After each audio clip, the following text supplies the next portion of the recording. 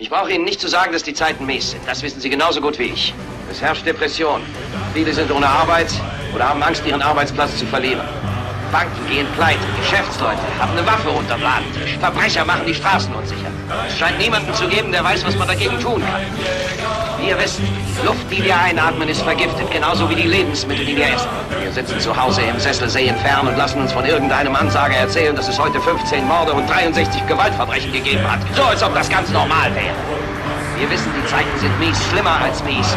Sie sind verrückt. Es ist, als ob überall alles verrückt geworden ist, sodass wir gar nicht mehr rausgehen wollen. Wir sitzen zu Hause und langsam wird die Welt, in der wir leben, immer kleiner. Und wir sagen nur, bitte, lasst uns wenigstens hier in Ruhe in unserem Wohnzimmer. Lasst mich meinen Toaster haben, meinen Fernseher, meine Stahlgürtel rein. Dann sage ich auch nicht, lasst mich bloß in Ruhe. Ich werde euch aber nicht in Ruhe lassen.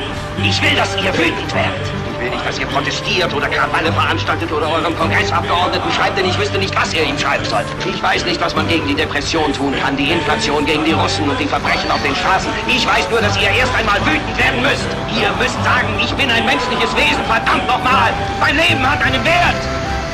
Ich will jetzt, dass ihr alle aufsteht, einer wie der andere.